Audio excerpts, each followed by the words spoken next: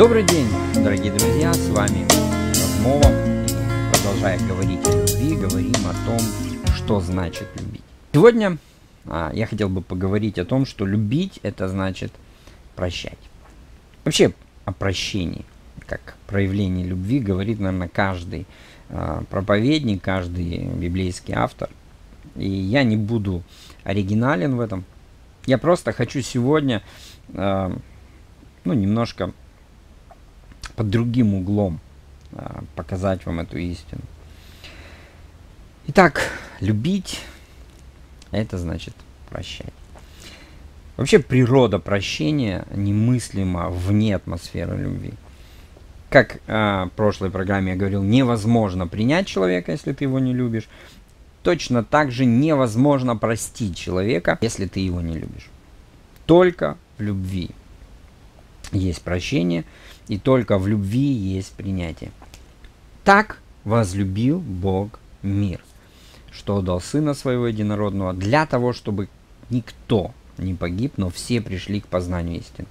Почему Бог это сделал? Как Он это сделал? Во Христе Бог простил каждого человека.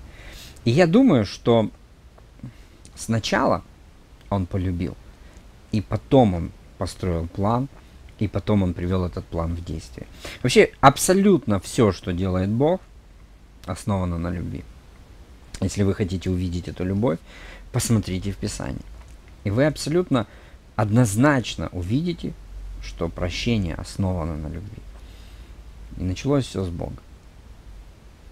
Человек, сотворенный по образу и подобию Бога, наделенный властью, наделенный свободой, наделенный дарами, талантами, вообще немыслимыми для современного человека, осознанно а, принимает решение уйти от Бога.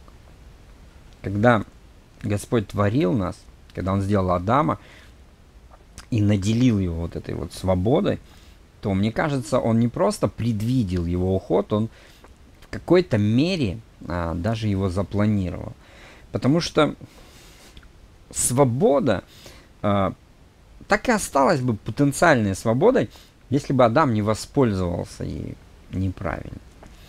Он должен был это сделать, и он сделал это. И вот весь этот путь возвращения человека к Богу, он вот знаете, такой путь любви. Несмотря на страдания, несмотря на грех, несмотря на развращение, несмотря ни на что, вот слава Божья во всем этом а, сияет невероятно, сияет, потому что Он продолжает прощать. Он настолько открыт к этому, что тебе нужно просто, вот знаете, даже не, не слова, а вот это движение твоего духа в сторону Бога с э, желанием просто вот упасть перед Ним и сказать прости, и он уже выбегает. Вы знаете, как, э, как с блудным сыном он идет, отец уже, уже вышел вперед, он уже ожидает его. Когда вы приходите к Богу с покаянием, вы видите, что он уже простил. Ты еще не начал говорить. Ты только вот потихоньку приходишь в себя, осознавая, насколько ты глубоко упал, насколько у тебя много проблем, и ты не надеешься на это прощение. Читая в Библии, что Бог прощает, но ты думаешь, что, возможно, на этот раз Он не простит. Но ты выходишь, и ты видишь, что Бог, Он вышел навстречу тебе, Он, он ожидал тебя. И вот это, знаете, стремление э, не просто вот барское такое ожидание, ну давайте, приходите, послушаем вас, посмотрим, как вы смиренные, не смиренные, в каком вы состоянии придете, и размыслим, прощать, не прощать. Вы скажете, что он Бог, и он знал, с каким сердцем шел блудный сын. А я думаю, это не играет никакой роли. Если человек идет просить прощения, некий плод духа, да, то есть то есть он уже думал, он уже размышлял, он уже был в неком сокрушении.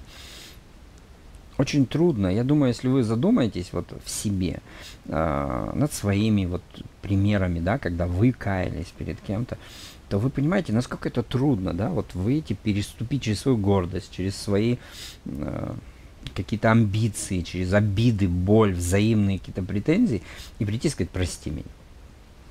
Оно уже само по себе дорогого стоит то просто подумайте, что если человек идет просить у вас прощения, он проходит те же вещи.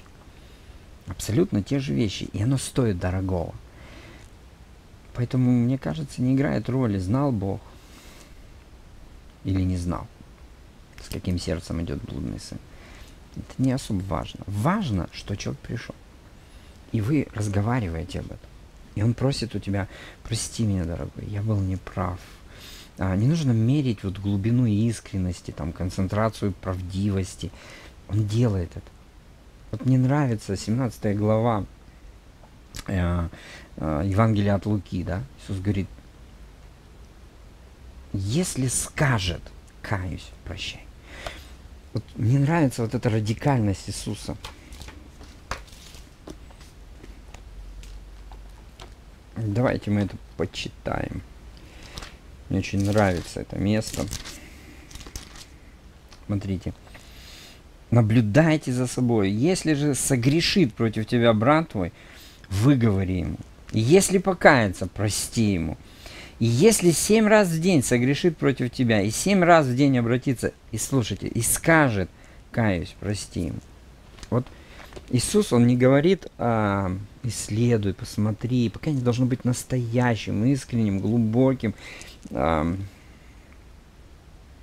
Он говорит, если скажет, каюсь. У нас написано обратиться. А, там написано вернется. В оригинале написано вернется. Вот он согрешил против тебя, он ушел, он вернулся и сказал, каюсь.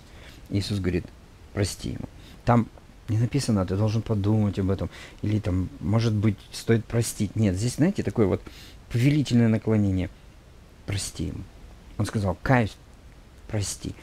И наше вот это лукавство, когда мы начинаем, знаете, быть такими духовными термометрами, а, людьми, которые могут спокойно измерить искренность человека или еще что-то. И мы говорим, да, ты должен, ты должен покаяться, ты должен сделать то и то. Я это переживал на собственном примере. Я, у меня есть один человек, которого я люблю, но он постоянно причиняет мне проблемы, он преследует меня. И вы знаете, я пришел к нему и я стал говорить о мире. Я сказал, что нам нужно примириться. И он сказал, да, это так здорово, это хорошо. Мы должны дружить, мы должны вместе что-то делать. Мы не должны как минимум а, как бы воевать друг с другом. И было очень хорошо. Но потом он сказал, что ты недостаточно искренен был в своем покаянии. Мне это разозлило. Потому что я был искренен. Потому что я увидел, что он не хочет а, прощать. И все, что я как бы построил на том, что вот он простил, как он говорит, оно вдруг рухнуло, оказалось, что он просто врал. И я разозлился. Я сказал, в чем? Еще мне перед тобой каяться. Он говорит, вот видишь, видишь, это говорит о том, что ты не смиренный. И я слушаю этих людей, знаете, я понимаю, что он по какой-то причине лучше меня и где-то даже, наверное, лучше Бога знает, насколько ты смирен, насколько ты правдив, насколько ты искренен. Я это поведение называю простым, банальным лукавством. Если ты не хочешь прощать, не прощай. Это говорит о том, что ты не любишь. Ты не являешься тем человеком, который отражает Христа, являет Христа. Ну так ты им и не являешься. Но мы же хотим выглядеть апостолами, быть епископами, быть пастырями, которые являют Бога. Но по сути этого не делаем. И мы лицемеры. Мы те самые фарисеи, против которых а, Иисус так много слов сказал. Любовь проявляется в прощении. Если ты не способен простить брата, ты не будешь способен простить врага. И когда ты взойдешь на свой крест, что ты с него скажешь тем, кто тебя распинает?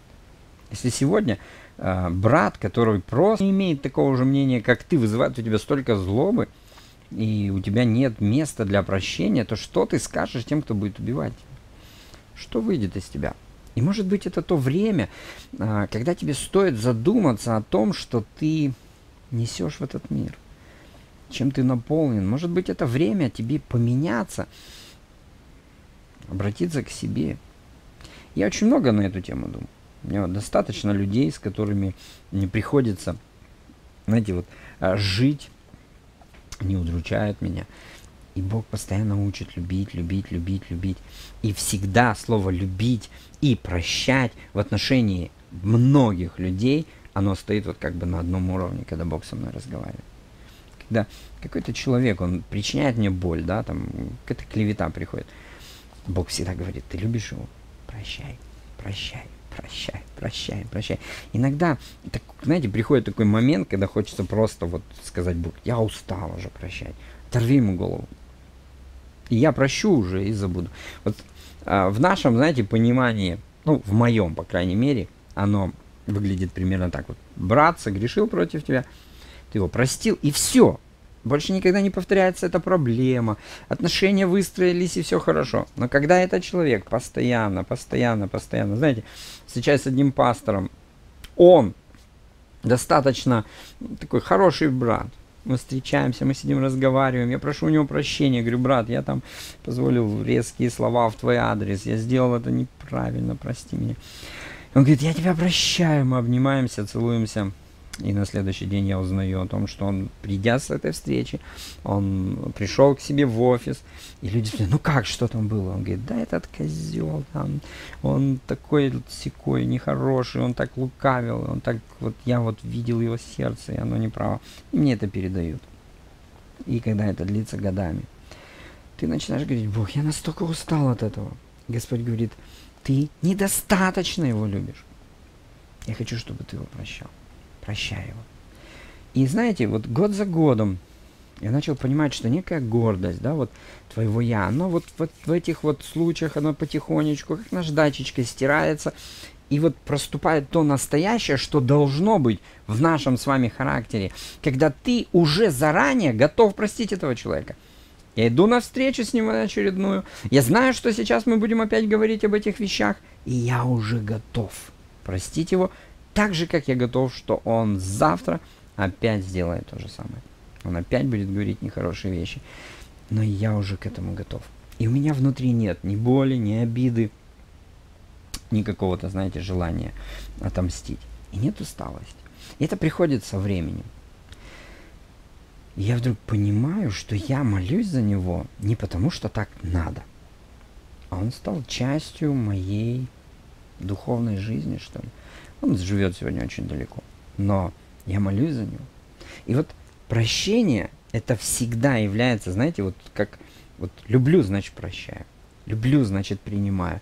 Люблю и прощаю. Это, знаете, как вот два камня в основании любых, наверное, взаимоотношений. Наверное, еще и потому, что прожить вместе, э, а когда мы говорим о церкви, я больше это вижу не как богослужение, а как совместную жизнь, и включающую в себя богослужение. Так вот, прожить вместе достаточно долго и при этом не конфликтовать, ну, это просто невозможно. А, есть, правда, пару семей, да, которые ну, утверждали в свое время, что они никогда не ругаются, но позвольте мне, я в это не верю. Я не верю в церкви, в которых нет конфликтов, я не верю вообще в любое общество, где нет конфликтов. Это невозможно. Так вот, если мы вместе в одной церкви, а мы сейчас давайте поговорим все-таки о церкви, Хотя можно говорить и на примере семьи, но церковь это более универсально. Нельзя не коснуться друг друга какими-то, знаете, вот острыми углами. Обязательно что-то будет. Кто тебя не так обличил, где-то ты не так поступил, где-то проблемы личные, где-то касающиеся служения, где-то разные точки зрения, мы по-другому видим, и мы вот тремся друг об друга, и это неизбежно. И когда это происходит, если ты не любишь, то будет рождаться такой нарыв. Потому что если ты не простил, непрощение приводит к гниению в точке непрощения. И отношения начинают разрываться. Они разжижаются сначала, они становятся такими зыбкими, и потом они просто разрываются. Но если ты любишь, ты изначально, с самого начала готов пойти на прощение. Может быть, не всего, что будет против тебя предпринято. Итак, любовь подразумевает прощение. Почему? Почему? Вот, и знаете, я вижу три вещи. А, три как бы камня прощения. Первое, потому что этого хочет Бог. Он говорит об этом прямо. Много. и достаточно радикально. Достаточно вспомнить э, его выражение, да, если вы от всего сердца не простите, то и Бог не простит. Достаточно вспомнить притчу, если вы помните, да, когда Иисус учит, э, что был человек, который должен был там огромную сумму денег, и царь простил ему, он нашел того, кто должен ему ничтожную сумму, и он его не простил, и в итоге сам попал в темницу. И это хорошая притча, которая говорит о том, что прощение – это воля Бога. Если Бог мне простил все, что повергает меня в стыд, то на фоне вот этого грех другого человека против меня, по крайней мере в моих глазах, он меркнет. Ну, подумаешь, э, меня оболгали. Но я это тоже делал. Я поступал несправедливо, я делал это, то, пятое, десятое, мне стыдно об этом вспоминать, но Бог простил меня. И вот когда вы посмотрите на чужой проступок против вас через призму собственных, вы обнаружите, что на самом деле не все так э, критично. Дьявол, который будет сидеть и постоянно тебе говорить, не прощай, не прощай, не прощай, он дает тебе, как бы, знаете, вот такую альтернативу. Вот послушаться Бога, который говорит, не простишь, не прощен.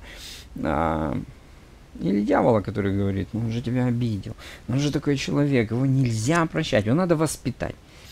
Еще одна, кстати, потрясающая ложь, которая существует в церкви, что кто-то, а, некие люди, а, призваны воспитывать других. А, пасторы, пресвитеры, неважно. Мы никого не призваны воспитывать, друзья. Тем более использовать прощение и непрощение в качестве некой меры воспитания. Это как, знаете, детей перестать кормить, если они шалят. Мы должны прощать. Я нигде в Библии не видел, чтобы Бог говорил, не прощайте, пока он не, не покается, или пока вы не достигнете некого результата в его воспитании.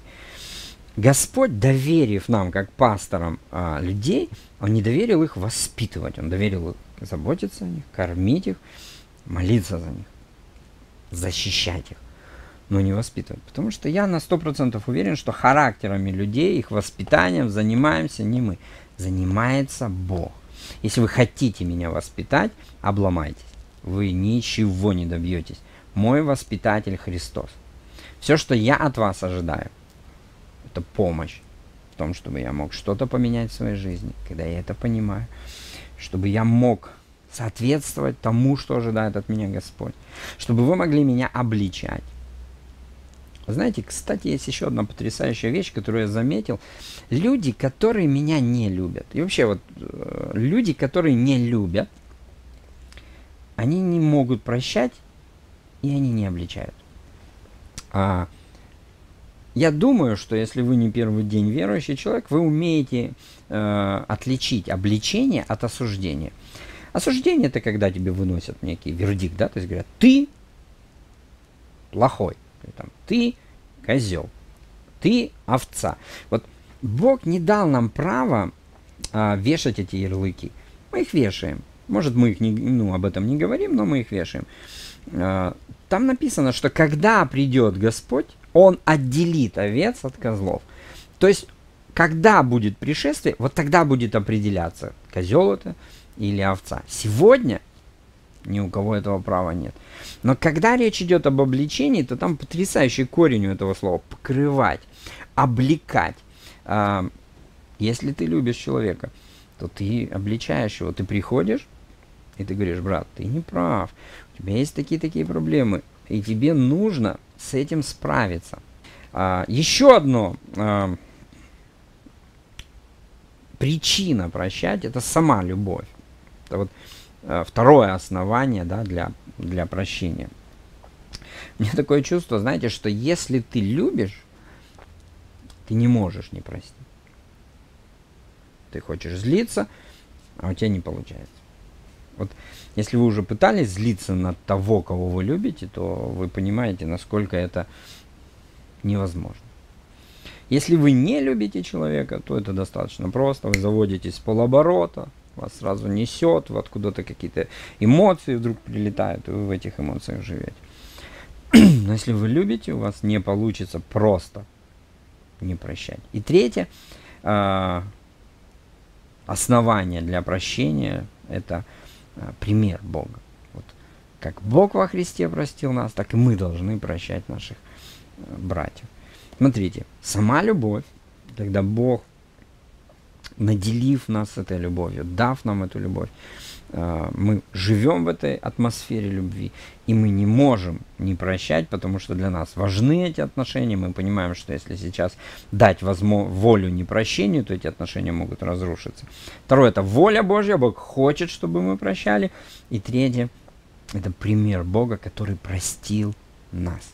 Вот не просто говорит о прощении, он показывает, он говорит, ребятки, я простил вас. Я простил вас. Знаете, меня более того восхищает, и мне кажется, что это даже вот недостижимо, то, что он сделал, потому что он принес жертву милостивления. То есть он не просто простил. Вот. От нас он ожидает прощения на более простом уровне. То есть он, он говорит, вы должны просто простить. Вот. Но он сделал больше, чем просто простил. Он сделал прощение возможным. Он искупил. То есть он просто вот принес жертву, которая покрыла преступление. Я даже не представляю, чтобы кто-то из людей был на такое способен. Он ожидает от нас простого прощения. Когда ты говоришь человеку, я прощаю тебя. Не отталкиваешь его, не осуждаешь его, не делаешь его э, объектом воспитания, не пытаешься что-то впихнуть в его тупую голову, ты просто прощаешь. Вообще, это не только основа любви прощения, а мне кажется, что прощение это основа любых взаимоотношений.